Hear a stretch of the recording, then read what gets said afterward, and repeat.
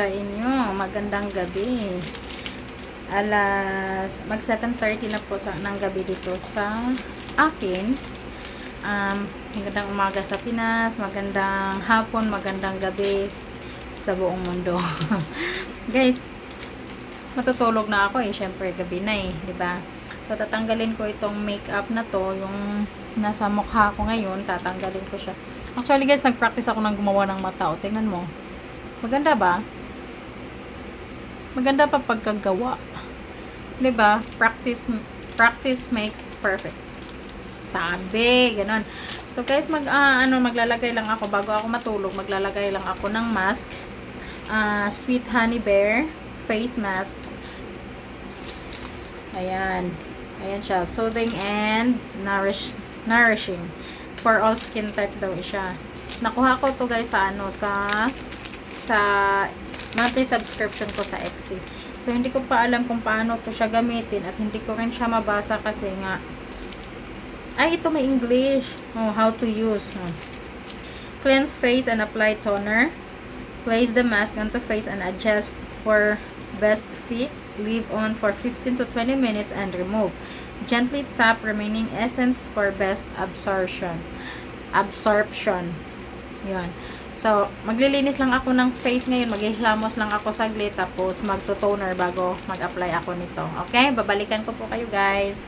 So, ayun guys. Pumalik na ako. At galing na ako naghilamos. Ngayon, mag... Hindi natatanggal yung ano ko.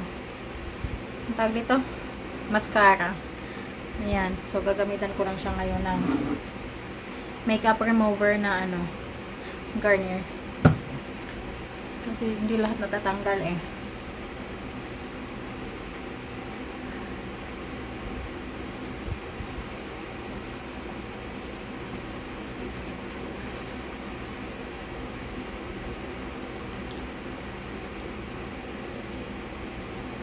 Yun, kita nyo oh.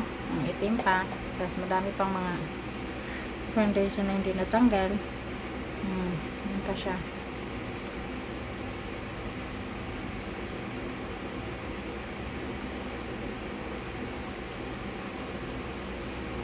Ang dami guys.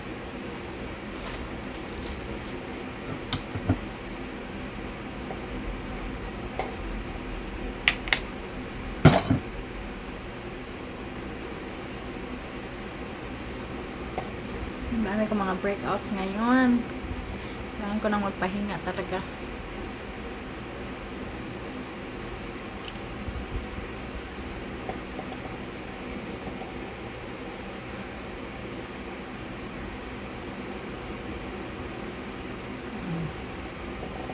Nakita ko kaya ito yung hmm.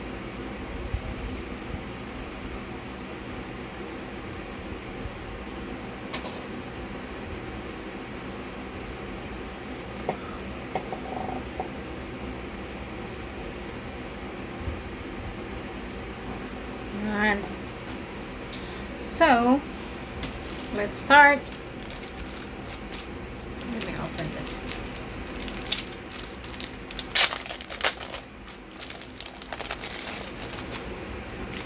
Ay, dalawa pala siya. So, isa lang gagamitin. Ay, itong isa, sweet honey. Itong isa, aqua, aqua moisture uh, raccoon. Hindi ko alam kung paano to gamitin. Mm, so magkaiba siya guys. So, bukas ko na or next week ko na gagamitin tong isa. Ito lang gagamitin ko ngayon. Sweet honey. Isi-save ko tong isa for next time.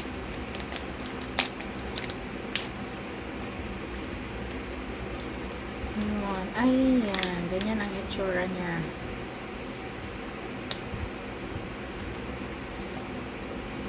Ang sarap naman ng amoy. Parang pagkain. Guys, oh, may may mga liquid-liquid. Uh, hindi ko alam kung paano to siya gamitin. Kasi tingnan mo yung loob niya, oh. May, may, may mga ano siya, yung mga gel. Pero yung gel yung yata ginagamit dito, eh.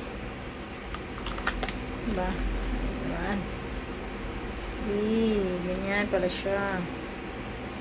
Tapos, bubuksan. Ito to. Ay. Guys, hindi ko pa talaga na-try gumamit ng mga ganito. Ah, oh, pang isang face talaga siya. Naka-fold kasi, kaya yun. Where's the Ayun siya. Amoy honey talaga guys.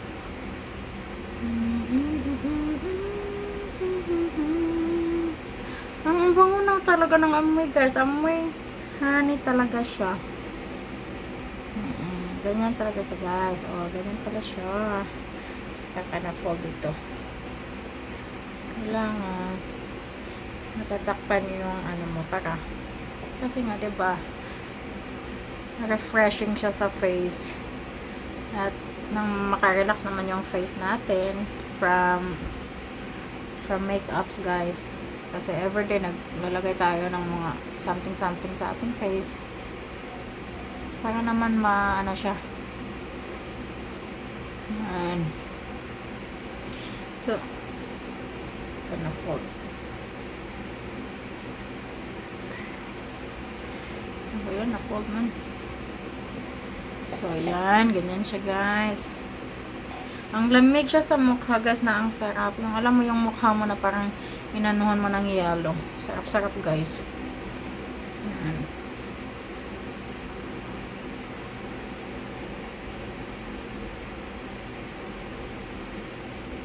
ano ko dito kasi may na-fold na ano.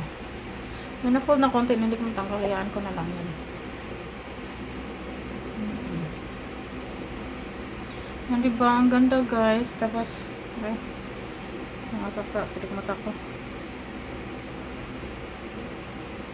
ang sakap sa feeling. Ang lamig niya. Tapos ito may mga gel pa dito. Dito ko nilagay sa hindi natakpan di ba kasi malamig din tong ano eh, itong gel na nasa ano eh. Malamig din siya. So, yan, ang pangatlong pa-beauty natin.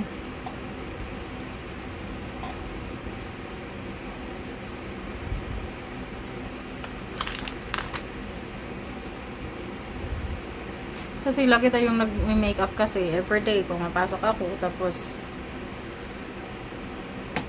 nagme-makeup tayo kahit kahit sabihin na ano, foundation lang yung nilalagay natin. Maano pa din yun sa skin natin, guys. Kaya, pag may time talaga, kailangan maganito talaga tayo. Kahit ice lang ba. Yung ice cubes, guys, maganda siyang pang-refresh ng mukha. Yung pang-relax ng mukha mo, ng skin.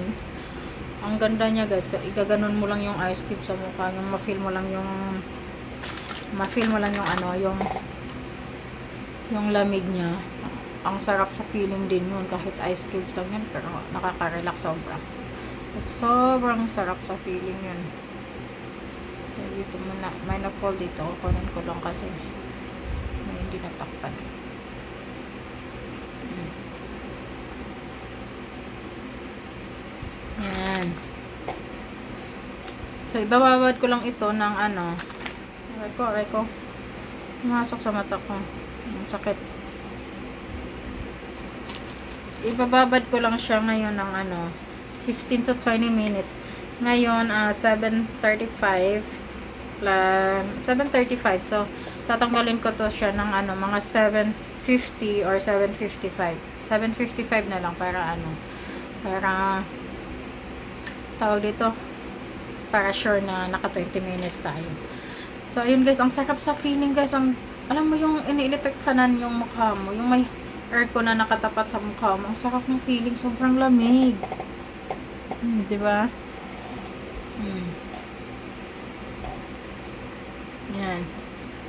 Ganyan lang mag ganyan lang ganyan lang tayo mag-inarte. so ayan, balikan ko po kayo after 20 minutes.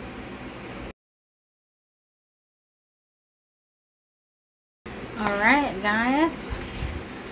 Nagbabalik tayo. Magtatanggal na tayo ngayon na ito. So, ang oras ngayon ay lumagpas ako ng 10 minutes. Ayan, 8. Dapat din makita. 8.10 na po dito. Dapat uh, ah, 7.55 ko siya tatanggalin kaso. Ayun. 8.10. Lumagpas po tayo ng 10 minutes. Kasi kumain ako eh. Kaya yan, binunitan ko para makanguya ako kasi hindi ko maibuka yung bibig ko kanina. Kaya ginupitan ko siya dito para ganun. Pero natuyo na naman niya siya. Ayan. Ayan ang itsura niya. Yung mga pimple ko talaga. Diyos ko. Sarap-sarap niya sa, sa mukha talaga kanina. Talagang refreshing talaga siya. Talagang nakaka-refresh. Kailangan po talaga mag-refresh tayo ng mga ng skin natin sa ano. Kahit ice lang guys, pwede na yung ice pang ganun. Di ba? Kailan kayo mawawala tong tagawat ko dito. Paulit-ulit. Nakaapat na ulit na yan siya dyan eh. Hmm, tignan mo yung piklat. Apat na. Hindi naman sabay-sabay, pero ano. So, ayun ang review natin sa mask natin. Made in Korea nga pala ito guys. Ang brand niya ay Look at Time. Look at Time. Look at Me Sweet Honey Bear Face Mask. Saan yung brand niya? Nawala yung brand niya. Basta, ayan siya. Made in Korea po siya. Ayan. Saan? Ayan. Korean ano siya guys. So, ayun. Yan lang ang ang ah, face mask tutorial natin video, hindi tutorial. Ah, video.